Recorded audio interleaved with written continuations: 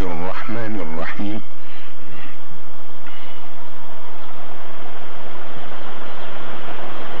وصلى الله على سيدنا محمد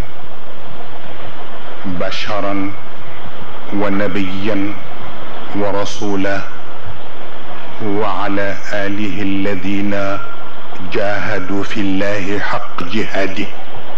ورضي الله عن جميع المؤمنين في مشارق الأرض ومغاربها. إخوة الإيمان السلام عليكم ورحمة الله تعالى وبركاته.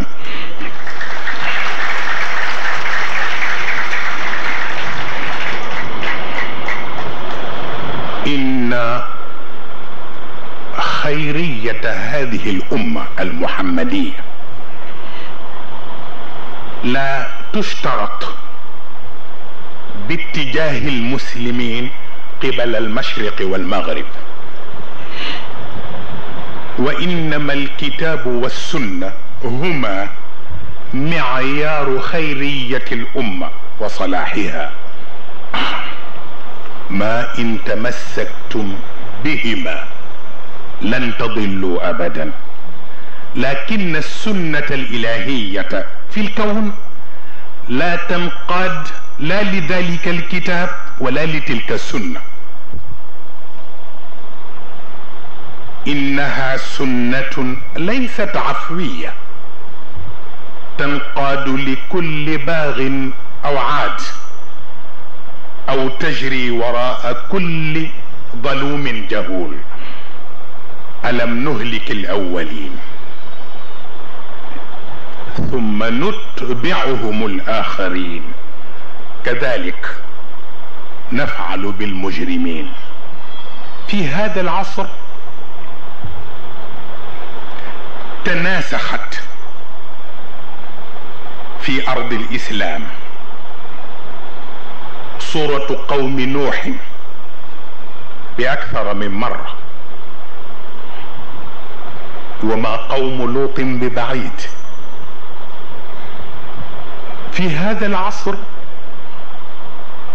تداخلت الأوامر بالنواهي. إلى حد جعلت المحللات والمحرمات وكأنها أشبه بإشارات المرور التي دخلها خلل كهربائي. فأصبح المتاجرون بالدين والمستثمرون برموز الدين أصبحوا أكثر عددا من أولئك الذين لا يدعون مع الله إلها آخر. في هذا العصر انتشرت في صفوف المسلمين فكرة التساقط التي أدت إلى إهلاك الروح باسم الروح وإلى إهانة الإيمان باسم الإيمان. فأصبحت أمة الدين منشقة بين فئتين. فئة فرقوا دينهم وكانوا شيعا.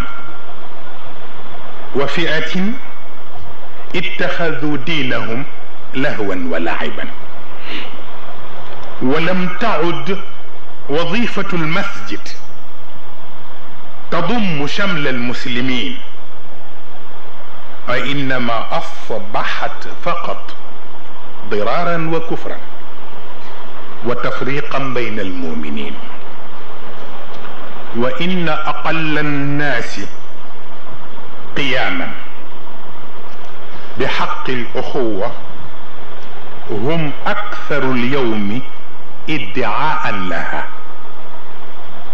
ولئن كانت الرده معدومة من الناحية العقائدية أو التعبدية فإنها يعني الرده من الناحية الفكرية سائدة على أرض الواقع. وهل يستقيم الظل والعود أعوج سيما أصبحت تلك الشجرة الطيبة. أصبحت وكأنها اليوم لا تؤتي أكلها كل حين. وكيف لا؟ وهي لا تسقى بماء الشرع